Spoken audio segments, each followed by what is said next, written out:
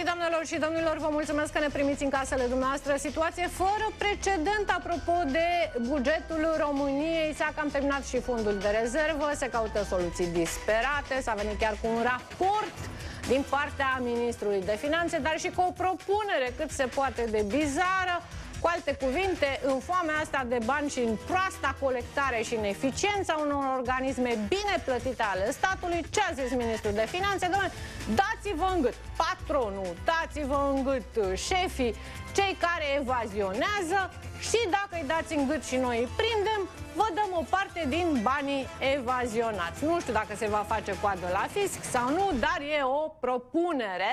De asemenea, doamnelor și domnilor, o să vă dăm uh, detalii de ultim moment și apropo de iarna aceasta, de facturi uh, repartitoare. Știți că e o obligație până la 31 decembrie 2023 toată lumea în sistem centralizat trebuie să aibă repartitoare. Uh, ei bine, au venit liberalii așa în al 13-a cea și uh, uh, au zis nu prea se poate. Situația de fapt este că doar în București peste 260.000 de apartamente n-au repartitoare și oamenii aceștia ar fi primit uh, amenzi probabil de la uh, zona autorităților uh, locale. Ministrul Energiei va fi aici în direct să ne explice ce înseamnă această poveste și de ce continuăm să avem cele mai mari facturi, prețuri la energie plus gaze din Europa. De fapt, suntem în top 3. La fel de important, doamnelor uh, și domnilor, o să vedeți și ce se întâmplă pe panta aceasta a justiției, mega scandalul uh, criminalilor, asasinilor uh, omului de afaceri din Sibiu. O să vedeți ce au făcut procurorii și uh, cum a ajuns cazul lor la, uh, sau sub analiza CSM-ului. Dar acum informația momentele, uh, momentului legată de aceste finanțe. Marina Cioacă, chiar acum în direct cu noi, ne explică cum am ajuns să uh, cheltuim, să risipim, să spuneți cum vreți dumneavoastră, până și fondul de rezervă la acestei țări. Bun găsit, Marina! Bună seara, bine v-am găsit, doamnelor și domnilor. Asistăm la o situație îngrijorătoare în privința finanțelor statului pentru că se apropie finalul de an și guvernul și-a dat seama că a golit vistieria. Deocamdată, instituțiile care au nevoie de bani primesc fonduri de la guvern prin intermediul acelui fond de rezervă care este alimentat de către Ministerul de Finanțe. Însă vedem că nu mai există bani nici măcar în acel fond de rezervă și toate instituțiile spun că au rămas fără fonduri pentru plata salariilor acum în luna decembrie. Și cer o rectificare, iar uh, primul ministru are această presiune pe umeri de a realiza o rectificare bugetară în luna decembrie fix înainte să fie aplicată legea bugetului de stat. Însă liberalii se opun și mai mulți socialdemocrați spun că nu ar fi nevoie de o rectificare bugetară și că guvernul trebuie să dea bani fix acolo unde este nevoie prin această nouă variantă din fondul de rezervă, o variantă aplicată în premieră. Iar Ministerul de Finanțe mai vine cu o propunere prin care speră să atragă mai mulți bani la bugetul statului. Mai exact, toți acei români care îi vor denunța pe cei ce fac evaziune fiscală vor primi un procent, cel mult 1% din valoarea totală pe care o va recupera statul român. Da, situații sau soluții uh, disperate, doamnelor și domnilor, în momentul de față. Îi salut în această seară pe Oana Florea, Partidul Social Democrat, Alexandru Cociș, Forța Drepte, adică opoziție, uh, Laurențiu Leoreanu de la Partidul Național Liberal, adică tot putere și Adrian Negrescu, analist economic. Uh, bun găsit, Adrian. Încep cu tine. Tu ai înțeles până în momentul de față de ce uh, pentru prima dată în 33 de ani apel apelăm la fondul acesta de rezervă pentru a plăti pensii, salarii, programe de sănătate, Casa Națională de Asigurări de Sănătate și așa mai departe? A recunoscut-o inclusiv ministrul finanțelor. Faptul că bugetul pe acest an a făcut, fost făcut foarte prost. A plecat de la niște premize false care s-au dovedit a fi până la urmă urmei o groapă în care s-a adâncit până la urmă, urmă uh, bugetul de stat. Adică suntem în situația de a avea un deficit de vreo 70 de miliarde de lei în momentul de față. Nu avem bani de unde să mai luăm pentru că din economie economie, tot am strâns cureaua, am adunat, dar și mm, sentimentul ăsta de suportabilitate din mediul economic s-a cam accentuat. Adică s-ar putea să ajungem să nu mai unde? plătim salariile la Nu, ne împrumutăm. Nu, nu, avem de unde. Ne împrumutăm. Ne împrumutăm, am împrumutat în acest an 35 de miliarde de euro, cât aproape tot PNRR-ul, da? Ne împrumutăm din ce în ce mai mult, apelăm la tot fel de soluții financiare, inclusiv cu împrumutul din trezorerie pentru autoritățile locale, să-și ia bani de acolo, amânăm tot felul de, de plăți pentru anul viitor, pentru a reuși să ducem cu bine acest, uh, acest an 2023. Uh, Crezi că ne revenim la anul sau... Nu, ce este grav din, din perspectiva anului 2024 e că vom pleca din start cu o gaură financiară de vreo 30 de miliarde de lei. Și luând, luăm aici în calcul uh, banii pentru pensii, vreo 16, ceva miliarde de, uh, de lei, da? Sunt banii pentru profesori care i-am promis încă din vară că le dăm după ce au făcut grevă și nu i-am acordat. Sunt uh, salariile câștigate în instanță de către magistrați, care sunt foarte mulți bani. Deci o gaură financiară de vreo 30 de miliarde care ar putea ajunge în toamnă pe la 60 de miliarde. Puneți și deficitul asumat de vreo 6,1%, așa cum ne-a spus și Comisia Europeană, și ajungem un deficit istoric de vreo 160 de miliarde adică, de lei. Uh, practic, în 2023-2024 ne mai rău ca niciodată. Și vă întreb așa, uh, doamna Florea, adică propunerea asta de ultim moment a Ministrului de Finanțe, uh, să-ți dai în gât, nu știu, patronul, colegul, că face evaziune și primește o parte din bănuții evazionați, credeți că va rezolva ceva, va îmbunătăți Eu nu dacă este o propunere în fază de proiect, e un ordin de ministru, adică e doar o vorbă sau chiar a trecut la fapte. Eu personal... Noastră să-mi spuneți. Că... Eu personal nu susțin așa ceva, eu nu am auzit de așa ceva, poate e doar... E clar că măsura va trebui să tragă președința de guvern, nu cred că va fi susținută. Mâine, păi mâine o să Acum... facem o tombolă națională, să Acum... pui bani și poate câștigă uh, cineva. Da, un leu pentru Ateneu să mai plătim salarii și pensii. Să plătim pensii. Redresarea economiei, din punctul meu de vedere, este un proces și să nu uităm că am plecat de la un deficit de 10%, să nu uităm uh, de împrumuturile făcute în pandemie de Florin Câțu, care spunea că ne așteaptă lucruri fantastice și plătim și acum vaccinurile alea. Uh, deci, practic, guvernele de după au trebuit să suporte acele dobânzi. Totul nu se poate de pe o zi pe alta. Uh, din punctul meu de vedere, faptul că am avut creștere economică, noi și cu Irlanda, cea mai mare din Europeană, spune ceva. Că am avut anul trecut, de exemplu, creștere economică pe investiții și nume pe consum spune ceva, că șomajul este sub media europeană spune ceva, dar desigur uh, este un proces, așa cum spuneam, uh, aceste măsuri uh, bugetare, fiscal-bugetare pe care noi le-am luat trebuiau luate mult mai devreme pentru că din primăvară se știa de așa zisa gaură de la buget, dar e bine că s-a luat și acum. S-au impozitat băncile și multinaționale, deci sper că vom aduce bani în plus. Și noi și sperăm, dar deocamdată avem... din ce știu eu, va intra în decembrie în Parlament, deci... Avem o informație de breaking news pe speranța aceasta. Haideți să vedem despre ce este vorba.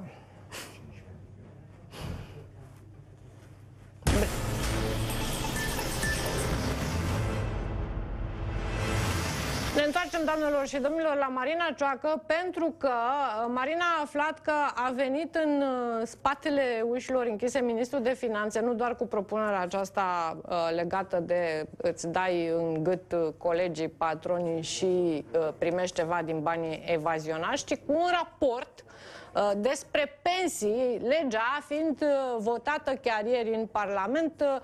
Bun găsit din nou, Marina, despre ce este vorba?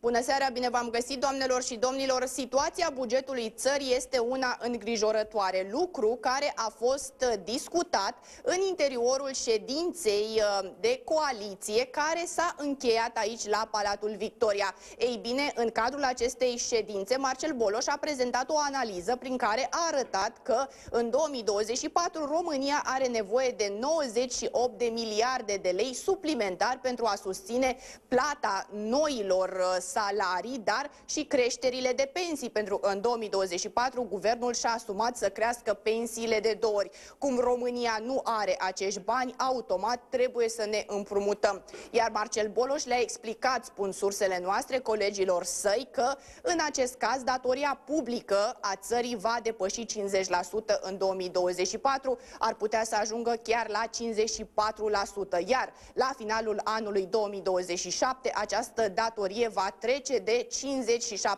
57% din PIB. Avem în vigoare însă o lege a responsabilității fiscal-bugetare, care spune în mod clar că la aceste procente guvernul trebuia să ia măsuri. Mai întâi să înghețe, iar mai apoi să taie veniturile românilor. Iar aici ne referim la plata pensiilor, dar și a salariilor din sistemul bugetar. A prezentat aceste analize Marcel Bolo și le-a explicat colegilor săi că măsurile pregătite de premier, măsurile prin care ar urma să se reducă evaziunea fiscală sau să crească colectarea la bugetul statului, nu vor fi suficiente pentru a face rost de această sumă de bani. Mulțumesc mult, Marina. Vești deci, din ce în ce mai urâte de acolo de la guvern. Uh, domnule Cociș, păi ori creștem salarii și pensii, ori le înghețăm sau chiar la tăiem, cum uh, prevede acea lege a responsabilității fiscale. În caz în care datoria depășește 50%. Sincer, nu știu ce va face guvernul, pentru că oricum se, da, se dă în momentul de față derogare la absolut orice lege existentă, inclusiv felul în care se abuzează de acest uh, fond de rezervă bugetară în momentul de față, este practic o abatere de la lege. Acest fond trebuie folosit doar pentru situații urgente și neprevăzute, nu pentru cheltuieli curente și predictibile. În Dar de ce au făcut acest... asta? Că nimeni n-a înțeles. Pentru că nu vor să facă rectificare, pentru că nu vor să se vadă uh, execuția bugetară reală, pentru că nu vor să se vadă toate plățile care sunt amânate uh, care trebuiau făcute anul acesta și sunt amânate pentru anul viitor. Exact așa cum spunea domnul Negrescu, anul viitor va începe din start cu un deficit de 25-30 de miliarde de lei și sunt foarte multe plăți amânate, inclusiv rambursări de TVA, va fi afectat cash flow firmelor, sunt uh, concedii adică medicale neplătite, sunt concedii medicale neplătite care la un moment dat oricum vor trebui plătite și vor pune presiune pe bugetul anului viitor. Dar până ajungi să le plătești, afectezi cash flow firmelor, gripezi economia, îi bagi pe mulți în faliment care depind de acele rambursări de TVA și din, uh, intri într-un cerc vicios care va genera și mai multe probleme. Dacă se vor îngheța salariile anul viitor așa cum uh, prevede legislația în cazul în care este depășit uh, pragul datoriei publice, nu știu, pentru că la câte derogări da, de la legislație se, se fac... și salariile și, și pensiile. pensiile. categoric, știu. Păi și pensiile tocmai creșteau cu 13,8. Fiind un an electoral, permiteți să cred că nu se va respecta această prevedere legislativă. Deci pensiile... Și vreau doar să fac o corecție. N-am vrut să o întrerup pe doamna Oana Florea când a vorbit, dar a spus că toate aceste probleme bugetare de acum sunt problemele generate de împrumuturile luate de Florin Câțu. Niciun împrumut, telespectatorii trebuie să știe, niciun împrumut luat în perioada 2020-2021 nu a ajuns la scadență, iar împrumuturile luate atunci au fost împrumuturi luate la cele mai mici dobânzi din istoria României.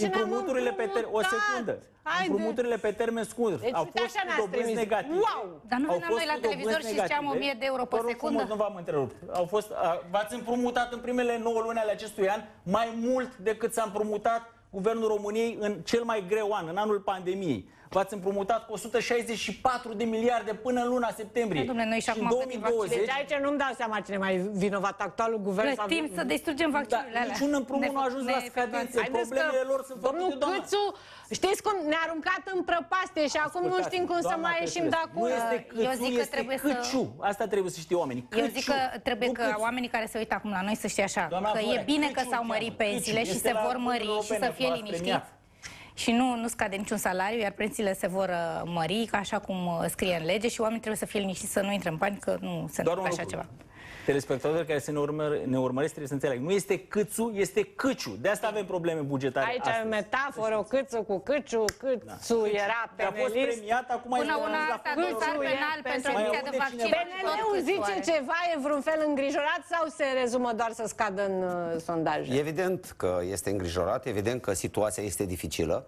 Suntem uh, într-o matrice în care are niște parametri fixi. Ne-am propus foarte clar să nu scădem veniturile românilor, să nu umblăm în scăderea pensiilor sau a salariilor, în același timp să nu creștem taxele și impozitele. De aici, pe care de consecință, nu avem decât câteva măsuri. În primul rând, să se reducă evaziunea cât mai mult posibil. Probabil și de aceea a venit Ministrul de Finanțe cu această propunere, deși adică aceasta, aceasta salarii și e treaba, pensii? Ace, cum? Uh, înghețată. Nu, nu, e vis-a-vis de ce spuneați Asta noastră. cu- Cu 1 la, la sută cu premierea Da- pentru dai evaziune. în gât pe deși, cine e- poți. deși eu zic că nu e o măsură uh, viabilă și corectă, sunt instituții atunci de ce a statului venit cu care ea? trebuie să ocupe. Eu nu am văzut, acum la dumneavoastră am aflat știrea aceasta. Era de azi de dimineață. Voi, da, nu am văzut, nu am auzit-o. Am fost și noi prinși în tot felul de activități. Astăzi încât uh, nu am știut această știre, dar dacă dumneavoastră o spuneți, nu am motiv să nu cred. Uh, Trebuie văzut exact ce și cum a vrut să spună și ce se dorește de aici, deși sunt instituțiile statului care trebuie să-și facă treaba. ANAF-ul trebuie să se uh, performeze, să se digitalizeze și într-adevăr să devină funcțional și uh, performant, pentru că, din păcate, nu se întâmplă așa. Cred că trebuie să umble în niște zone ferbinți care de foarte multe ori au fost evitate și nu știu de ce. Uh, vezi portul, vezi vămile, vezi mărfurile care vin uh, și nu sunt taxate. Sunt niște lucruri de unde se pot recupera importante sume de bani la bugetul statului. În același timp, uh, recuperarea de TVA, suntem unele din țări de, țările din Europa care are o slabă încasare pe, pe TVA și în același timp rămân și fondurile europene, rămân fondurile din PNR care sprijină ajută economia României în această perioadă. Da, este o di- situație dificilă. Nu putem să spunem nu este așa, dar să ne gândim că venim de la un deficit de peste 10%, venim de la o inflație de circa 15%, venim cu niște indicatori macroeconomici care într-adevăr uh, anunțau o situație foarte grea pentru economie. Lucrurile ușor, ușor par să se îndrepte, să vedem cum se încheie acest an, deși îți departe de a fi lămurite și eu cred că anul viitor, chiar dacă va începe destul de greu, printr-o aplicare foarte serioasă a legii bugetului, pe care sperăm să o avem la sfârșitul acestui an în Parlament și o execuție responsabilă a bugetară, sperăm ca lucrurile să poată fi îmbunătățite. Așa este. Nu este deloc simplu, e o situație dificilă, venim după o suită de crize, venim după conflicte și în prezența unor conflicte care există și la stânga și la dreapta și în față și în spate, dar cu toate acestea trebuie să își facă treaba guvernul Întrebare așa și vreau împreună să-mi să găsească răspundeți soluțiile. foarte scurt pentru că am uh, un nou breaking news legat de vreme de data aceasta și până vedem ce face și Ministrul Energiei. Dar mai sunt oameni care chiar se gândesc în mod serios în partidele acestea la toate aceste probleme sau doar veniți aici și spuneți, domne, ne e greu, e, sunt crize, dar noi suntem responsabili, dar facem, dar uitați că din zi în zi ți se pare că intri mai adânc în Da, prăpastia. să știți că chiar există oameni Puteți care să-mi dați cinci se oameni din preocupă și oameni care PSD și sunt PNL implicați. responsabili care fac Eu garantez pentru toți miniștrii noștri în frunte cu premierul, Domnul fără doar și poate. Leoreanu Toate garantează măsurile, Și eu zic toate că măsurile garantează și Ministrii mările de uh, din pensii au fost actualul de PSD. guvern sunt acolo cuplați într-adevăr la realitatea și situația României Domnule Eureanu. și caută Nu, soluții. nu, stați că am Sunt eu o convins curiozitate. De, acest De lucru. exemplu, la digitalizare, cine e, domnule ministru? Liniște. Domnule Oreanu, cine e la digitalizare? La digitalizare este De la noi, colegul Bogdan dumneavoastră Ivan. care a fost. Bogdan Ivan. Deci vedeți cât de Uh, greu a domnul, fost. uh, Dar Domnul este, Ivan, domnul este, deci chiar este un tânăr ambițios și care chiar muncește. Întâmplător La am mediu? avut o discuție cu La mediu este domnul Mircea Fechet. Și de garantați? extemporal. Da, domnul Mircea Fechet să știți că este economie. foarte implicat și în aceste zile chiar deblochează niște proiecte și niște programe cu finanțare. Acum, pentru- uh, Perfect. Breaking news.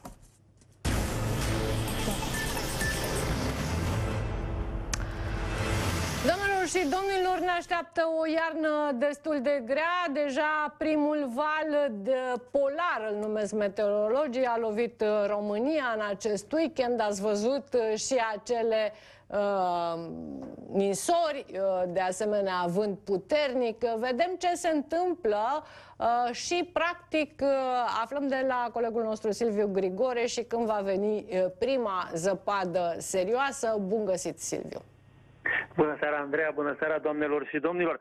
Aminteai tu telespectatorilor noștri despre weekendul trecut, care a fost unul destul de complicat sub aspect meteorologic în mai multe zone ale țării. S-ar putea ca weekendul viitor să vină de asemenea cu fenomene de iarnă și nu doar la munte. Până atunci însă, la noapte așteptăm uh, precipitații. Așteptăm uh, precipitații în principal sub formă de ploaie la munte mixte, în sud-vestul țării, în Banat Oltenia ceva mai însemnate cantitativ și mâine vor fi precipitații în sud-vest, în sud, în est și de asemenea tot în Banat și Oltenia vor fi cantități de apă mai importante și dacă joi precipitațiile sunt uh, ceva mai puține, începând de vineri ele se extind și vor fi de interes în bună parte a țării, dar spuneam spuneam, weekendul ne atrage atenția pentru că odată cu răcirea vremii, uh, precipitațiile se vor extinde și există o probabilitate foarte mare ca pe parcursul uh, zilei de sâmbătă, sâmbătă spre duminică, precipitațiile să fie cea mai mare parte a țării și treptat să fie uh, sub formă de ninsoare la munte și mixte în celelalte zone. Ba chiar vor fi destul de multe zone mai joase în care vor fi fenomene de iarnă, cum am spus la începutul intervenției, chiar uh, ninsori pe alocuri cu depunere de strat de zăpadă și inclusiv în capitală noaptea de sâmbătă spre duminică vine cu minime ușor negative sau în jurul pragului de îngheț și există o probabilitate semnificativă să fie precipitații mixte. Așadar, după ce mâine maximele vor fi încă destul de plăcute, să spunem, Vorbim despre o răcire care în weekend ar însemna maxime de cel mult 2 la 8-9 grade și minime negative, în general cuprinse între minus 4 și 4 grade duminică dimineața. Mulțumesc mult, Silviu, pentru aceste informații și chiar acum, doamnelor și domnilor, intrăm în direct și cu uh, Ministrul Energiei, domnul Sebastian Burduja, pentru că, uh, din nou, uh, se încearcă schimbarea legii pentru cei care locuiesc la bloc și care aveau obligativitatea de a-și impune repartitoare uh, de căldură până pe 31 decembrie 2023. Uh, situația, de fapt, bună seara, domnule ministru, este următoarea. Bună Doar în București 203, peste 260.000 de apartamente n-au astfel de repartitoare, adică oamenii doar puteau să plătească niște amenzi, dar înțeleg că dumneavoastră și alți colegi liberali încercați să devansați acest termen cum, sau cea, ce propuneți în acea inițiativă legislativă. Da, vă mulțumesc foarte mult. Într-adevăr, de prin 2014 România are această obligativitate setată la nivel european de montarea acestor repartitoare și, conform legii în vigoare, există riscul aplicării unor amenzi de aproximativ 1000 de lei pentru românii care nu au reușit să-și monteze încă astfel de dispozitive. Din proiectul nostru de lege, și nu e doar un proiect liberal, e important să vă spun că există inițiatori și de la Partidul Social Democrat și de la UDMR, din uh, comisiile de specialitate de la energie, industrie și așa mai departe. Practic, derogăm și amânăm cu un an aplicarea acestor măsuri și în premieră, pentru că totuși din 2014 noi tot amânăm cu un an, dar pentru prima dată dăm și un sprijin românilor prin fondul pentru modernizare. Deci, practic, prin acești bani, să-i spunem, să le spunem europeni, uh, de uh, practic în jur de 700 de lei pentru românii care nu își permit montarea acestor repartitoare. Noi am definit uh, categorii persoane și familii vulnerabile cu un venit lunar sub 2000 de lei pe membru de familie și sperăm că acest ajutor îi va motiva pe cât mai mulți români să monteze aceste dispozitive în următorul an de zile. Și, practic, uh, pentru că apelați la o inițiativă legislativă, ea nu se aplică imediat, că nu e ca HG-ul sau ca ordonanța de urgență. Ea trebuie să treacă prin Senat, prin Cameră, adică reușiți să o votați până pe 31 decembrie 2023. E în procedură Așa de... Așa ne-am propus. Așa ne-am propus, doamna Căsulescu. De altfel, am uh, insistat foarte mult să depunem până în ora 11 luni, deci ieri, uh, tocmai pentru a putea intra cu ea în Senat în dezbatere cât mai repede și apoi în Camera Deputaților. Deci ne-am propus adoptare până la finalul acestui an. Și acei Astfel bani că... ar trebui să vină din ianuarie încolo, nu pentru familiile sărace din care nu au uh, încolo, repartitoare din ianuarie încolo ei se vor plăti în baza unor facturi, a unor uh, certificate care să dovedească practic montarea dispozitivelor și uh, ne dorim ca românii să nu aibă această grijă acestor amenzi pentru că repartitoarele sunt un uh, mijloc de promovare a eficienței energetice, de aceea și Uniunea Europeană ne obligă să le montăm. Deci venim în sprijinul românilor, vrem să stea liniștiți, nu-i amendează nimeni. Dar știți că mulți oameni important. se plâng că după ce și-au uh, pus repartitoare au plătit mai mult. Așa este. Adică... E de la caz la caz și de la asociație de proprietari la asociație de proprietari. Sunt și cazuri în care au plătit mai puțin. Important este că prin aceste repartitoare, practic, fiecare are o măsură corectă a consumului propriu și plătește exact atât cât consumă. Uh, mai am o întrebare esențială, domnule ministru, și pe producătorul meu să ne arate această statistică europeană. De ce aici la noi România a ajuns pe locul 3 la prețul energiei electrice și pe locul 2 la prețul gazelor? Uh, pentru că știți foarte bine, pe bursele internaționale aceste prețuri au scăzut în unele cazuri chiar și cu 90% față de vârful acela post-pandemic când România a apelat la acea uh, măsură de plafonare a prețurilor și acum prețurile noastre plafonate sunt mult mai mari decât ceea ce e pe piața liberă. Întrebarea este de ce mai menținem această plafonare pentru că oamenii o să plătească niște facturi mari Uh, mult prea mari față de piața liberă sau față de piața liberă din Germania, din Franța, din Olanda, din Spania. Da. Uh, deci nu este adevărat. Din păcate, Eurostat, Institutul de Statistică la nivel european, colectează aceste valori la nivelul din contracte, dar nu colectează valorile plafonate. Atunci când luăm în considerare prețul plafonat, efectiv cât plătesc românii la final de lună, la energie electrică, suntem pe locul 16, deci undeva la mijlocul clasamentului european, iar la gaze suntem pe locul 4 cu cel mai ieftin gaz faptul că în contracte, contracte care nu au fost actualizate în ultimele șase luni, în ani de zile, pot fi și contracte din uh, criza energetică, uh, avem încă valori mari, este doar o chestiune statistică, dar e important să le spunem românilor că această știți că nu prea e statistică, că statul le dă acestor furnizori uh, bănuții aceea Diferența pe care acum, de exemplu, ministrul de finanțe nu-i găsește pentru majorarea pensiilor, ca să dau doar un exemplu, adică e o decontare acolo le dă diferența dintre prețul cu care un furnizor achiziționează energie electrică sau gazele și prețul plafonat. Aveți dreptate, dar uh, prețul care achiziționează energie electrică nu este neapărat cel din contract. Este un coș făcut din prețurile din, ultime, din ultimul an, să spunem, depinde cum și-a făcut fiecare furnizor uh, calculele. Uh, e important să vă spun că toate prețurile au scăzut și inclusiv la gaze sunt furnizori care facturează sub plafon sub plafonul de 0,31 de lei megawattoră, deci asta, kilowattoră, iertați-mă. Deci asta înseamnă că eh, nu plafoanele sunt o problemă, ci furnizorii care eh, nu respectă practic prețul uh, real și aici ANR-ul are atribuții să facă verificări și să aplice amenzi inclusiv ca procent din cifra de afaceri, ceea ce înseamnă niște zeci de milioane de euro. Da, mulțumesc mult pentru această intervenție.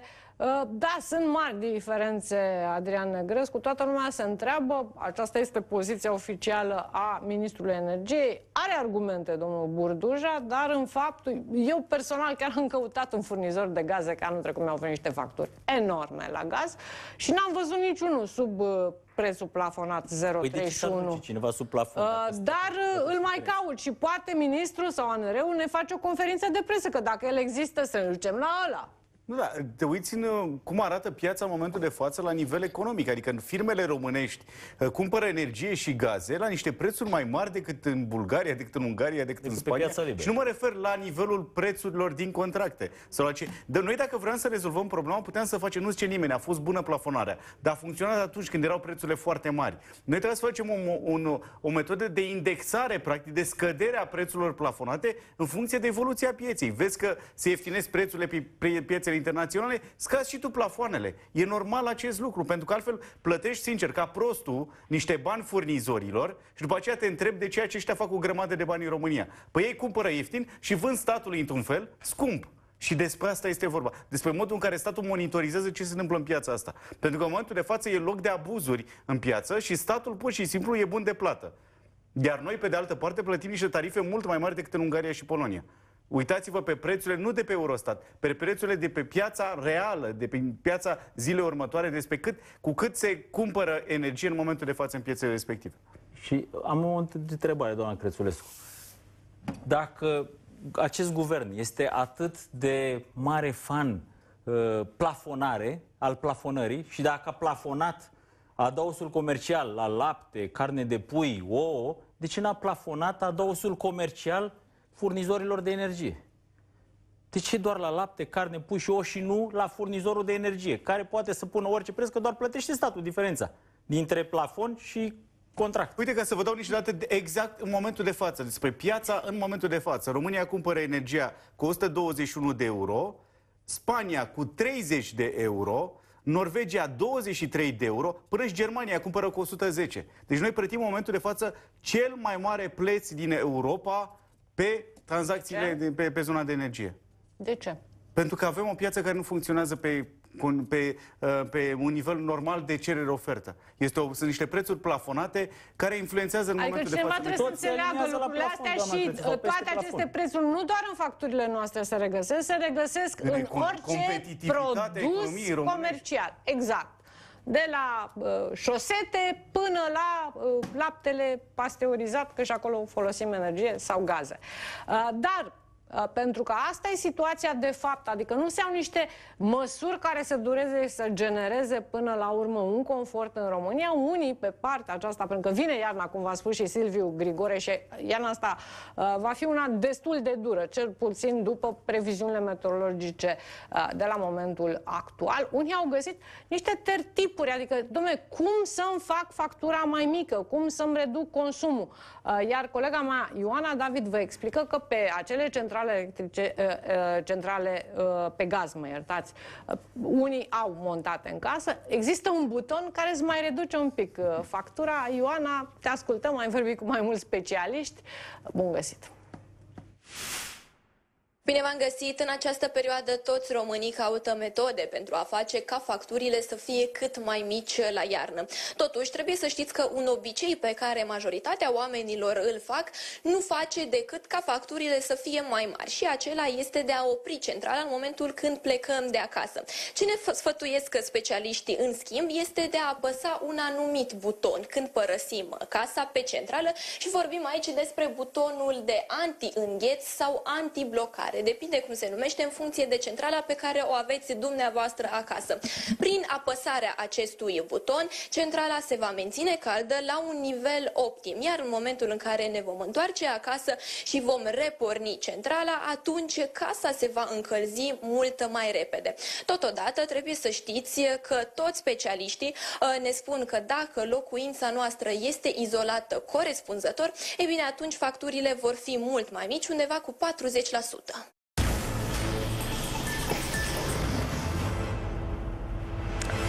Uh, am revenit, doamnelor și domnilor, și aș vrea să vă arăt uh, imaginile zilei. Astăzi, proteste la ambulanță, după ce ieri s-a votat acea uh, mult dorită lege a pensiilor, dar acolo, pentru că s-a făcut totul pe repede înainte, s-au uh, scăpat niște detalii esențiale. Un detaliu esențial este că prin această lege, de exemplu, Zmurdu a primit niște bonificații de grupă, pe când angajații de la ambulanță care fac fix același lucru nu le-au primit, deși uh, și de la șofer până la doctor, asistent, brancardier, toți uh, nu contează decât că uh, ei lucrează în instituții diferite, protestul de astăzi. Da, suntem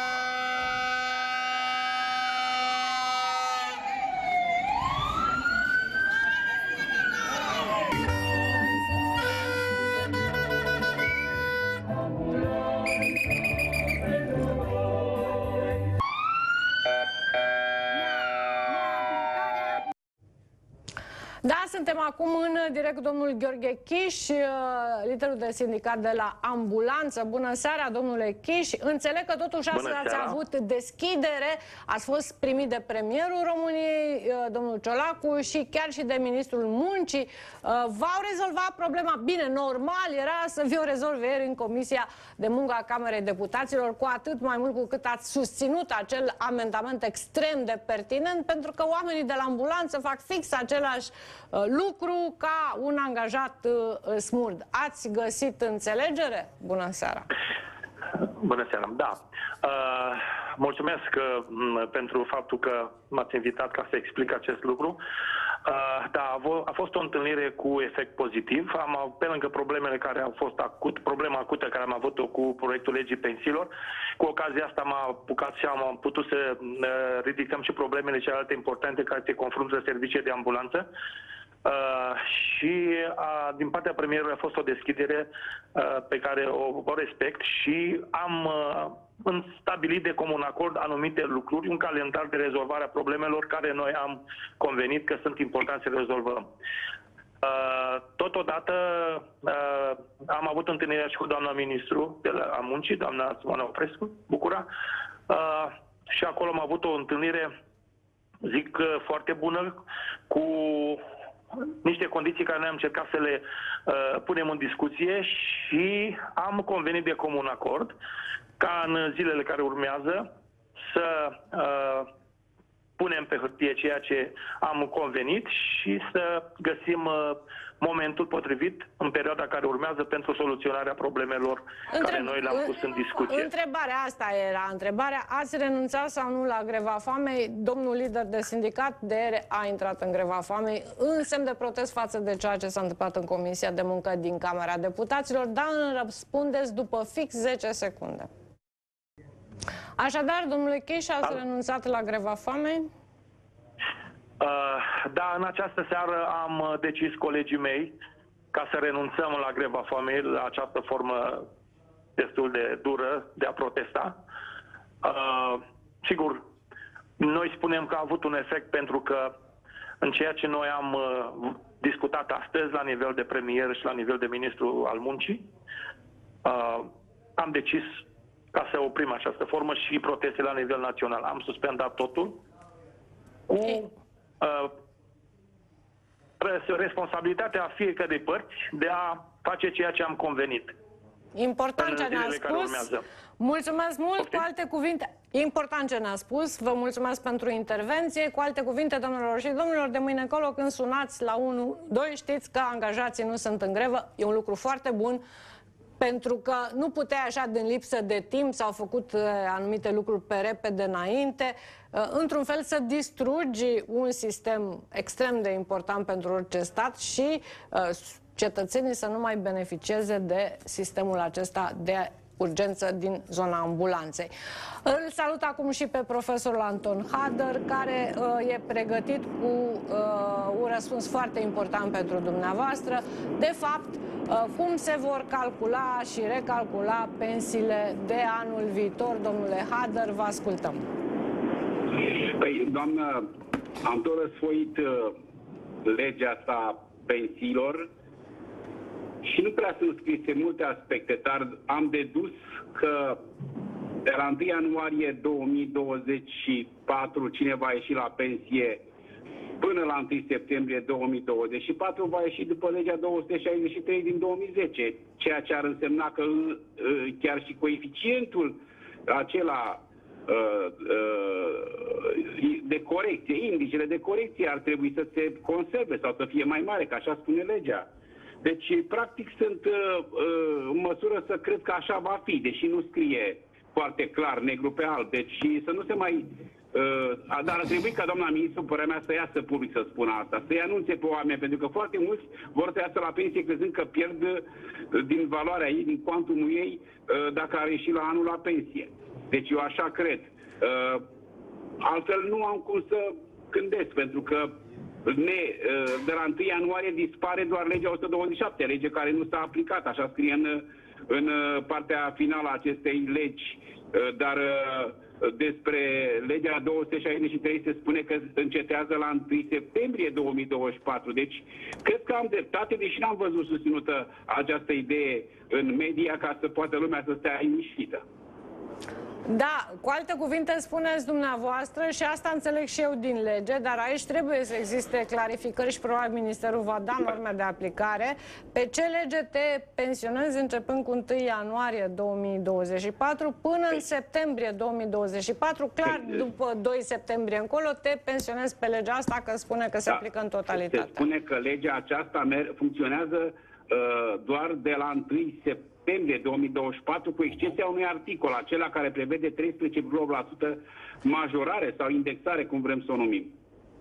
Da, uh, și uh, vom vedea și vă aștept aici într-o emisiune, domnule Hader, ca să explicăm... Multe lucruri, uh, multe lucruri așa mai neclare. Exact, uh, mai ales la recalcularea aceea pentru cine va fi o creștere de 0% și pentru cine va fi de 80%. Oh, da, da, acolo, 80%. acolo mai ales cu punctajul pe criterii de stabilitate sau de vechime, iar este încurcată treaba. Se spune, se vorbește despre perioadă de contributivitate, deci practic Uh, iarăși cred că vor, vor suferi cei din zona grupelor de muncă. Sunt multe lucruri care trebuie puse la, la punct în această lege și ați văzut ce s-a întâmplat dacă nu s-a, uh, nu s-a aplicat nimeni asupra problemelor. Uite cum a fost aceasta din uh, domeniul, din domeniul salvării.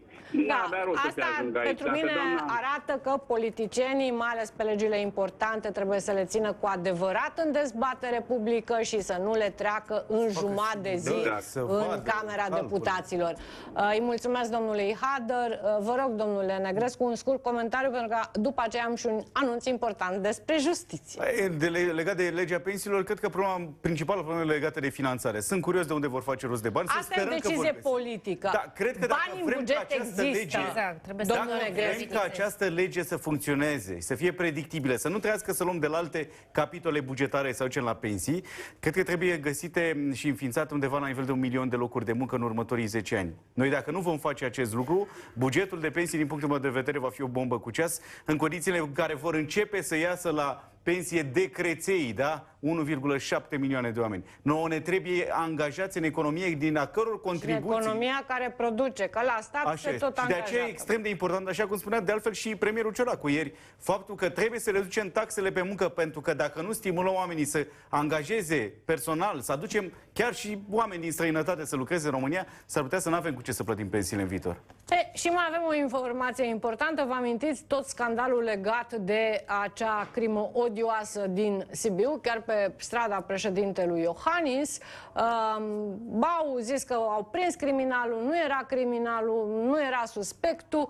Uh, cert este că astăzi toată lumea a fost șocată când a aflat că la CSM, adică acea instituție care uh, se ocupă de curățirea magistraturii, s-a depus o plângere pentru procurorii de caz care, ce să vezi, n-au îndeplinit procedurile. Despre ce proceduri este vorba, ne explică chiar acum Laura Duță. Bun găsit! Bună seara, Andrei. Inspecția judiciară s-a autosesizat în cazul judecătoarei care a blocat emiterea mandatelor de arestare în lipsă pentru asasinii din cazul uh, de la Sibiu. Mai uh, degrabă, polițiștii au făcut munca, au identificat unde se află aceștia în străinătate, iar uh, partenerii din străinătate deja l-au luat urba și urma să fie reținuți, dar aveau nevoie de aceste mandate în lipsă. Însă, polițiștii au mers vine să ceară la judecătoare, la șefa secție penală de la Tribunalul eh, Sibiu, care era și de serviciu, Luminița Petrescu. Aceasta a spus că de sâmbătă eh, decizia și mandatele, iar sâmbătă a anunțat că va da zilele acestea, mai degrabă mâine. Pentru că au blocat, eh, iată, această anchetă, un judecător i-a salvat într-un sfârșit cu intervenții foarte sus, dacă pot spune așa, s-a muncit la foc continuu în Ministerul de Interne, cu Procurorul General, cu Ministrul de Interne, s-a reușit emiterea acestor mandate pentru că asasinii puteau să scape. Acum, Inspecția Judiciară judiciară, uh, deja îți spuneam, a deschis această anchetă disciplinară în cazul judecătoare. La judecător are vreo explicație, Laura, de ce și-a închis telefonul, de ce n-a vrut să dea acele mandate, uh, era uh, în weekend și nu lucra, de fapt era de serviciu. E, asta e o bătaie de joc și un tupeu de nedescris pentru că s-a mai spus și spațiu public, s-a făcut cu citarea părților foarte important pe care legal au avut avocați. Efectiv, așa cum spui și tu, și-a închis telefonul și n-a, n-a mai interesat-o. A dat mandat peste câteva zile. Iată cum și-a bătut joc de munca polițiștilor din țară, foarte mulți polițiști, de munca polițiștilor în străinătate până la urmă, care le luase urmă. Și puteau să scape bine, mersi. Mulțumesc mult, Laura. Și aici o întrebare, așa, cu un răspuns foarte scurt. Oare o să avem vreodată în țara asta și o răspundere a magistraților? Pentru că aici nu e vorba că intri cu bocanci în această activitate, dar în orice breaslă există și uscături, cum am văzut. Ce facem cu uscăturile astea? Veți vota vreodată răspunderea magistraților? Liniște și evident, pace. Există o evident trebuie să existe și în momentul de față există. Vedeți există. că inspecția judiciară s-a sesizat și va răspunde din punct de vedere administrativ. Întrebarea dumneavoastră vine pe partea cealaltă. Există o răspundere, dar Există. e o anumită procedură acolo trebuie umblat. M-am uitat și eu, să știți că m-am uitat și în alte țări. Cred că singura țară care are o răspundere a magistraților concretă e Grecia. Cum e, domnule, să nu-ți deschizi e, telefonul e, când ai trei criminali e acolo? Groaznic, e groaznic și, uh, și mai ales că timpul aici este principalul adversar al anchetatorilor. Deci, într-adevăr, Pentru că știi că nu poți să pățești nimic da. și n-ai chef în weekendul ăla, Adevărul e că pe separația puterilor în stat, puterea judecătorească astăzi pare cea mai deasupra tuturor, practic, intangibilă în momentul de față. Mulțumesc! Intangibilă sau nu, în România, potrivit Constituției, există un echilibru între cele trei puteri, judecătorească, executivă și legislativă și așa sper să rămână. Le mulțumesc invitațiilor și mă duc la echilibratul Victor Ciutacu. Bun găsit, Victor! Bună seara, Andreea! Bună seara, doamnelor și domnilor! În doar câteva clipe, punctul culminant al dezvăluirilor, Ministrul Muncii intervine de urgență cu marea veste. Cea mai mare majorare de pensii s-a dat aprobarea oficială și o amplă investigație de presă în direct despre drogații de la vârful statului, înregistrări și documente spectaculoase. Dana Budanu de mască, rețelele drogaților influenți. Veți afla și secretele jandarmeriței de elită prinsă cu droguri la ea. Cine o protejează pe jandarmerița drogată și de ce? Judecătoarea drogată. Și de ce? Judecătoarea drogată, e emisiune cu drogați, domnilor și domnilor. Vorbim și despre judecătoarea drogată și manevrată de interlopi. Și totodată vă aducem în atenție și cazul polițiștilor care au consumat captura de droguri care era probă în dosarul din instanță.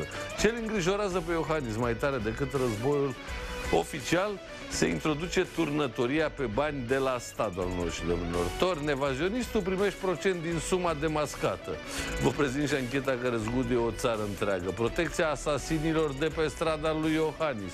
Cum și-au bătut joc magistrații și au favorizat pe asasini. Investigatorul Savaliu face dezvăluiri spectaculoase în premieră.